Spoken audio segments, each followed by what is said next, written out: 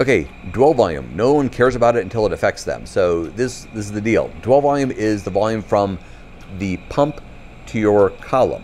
So you got a method. It's working great for the last 10 years. It's validated. It looks wonderful. You hand it to another person.